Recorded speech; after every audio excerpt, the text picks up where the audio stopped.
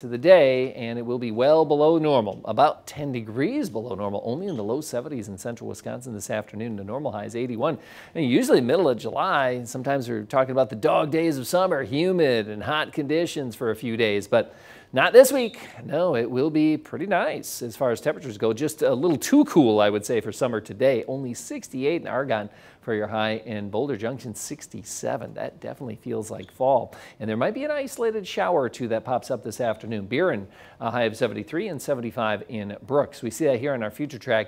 Uh, a few clouds coming down from the north and maybe a little sprinkle or isolated shower popping up.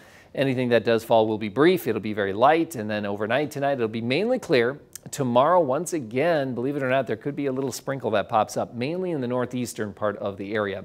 But most areas dry tomorrow and it will be a little bit warmer and the most significant chance of rain that's heading our way will be on Wednesday, uh, but not probably until Wednesday night. Here's your future track showing through the day, a little storm system tracking to our south, tracking to our west. It's late in the day though uh, that we could see some storms coming out of Minnesota in uh, more Wednesday night. That's our most significant chance of rain this week. Hopefully we get it because it is kind of a dry weather pattern heading uh, uh, through the next week or two. A slight chance today and tomorrow for those sprinkles or isolated showers. But Wednesday night, uh, as it gets a little warmer, maybe a little more fuel for a few thunderstorms that might produce some heavier downpours in some parts of the area.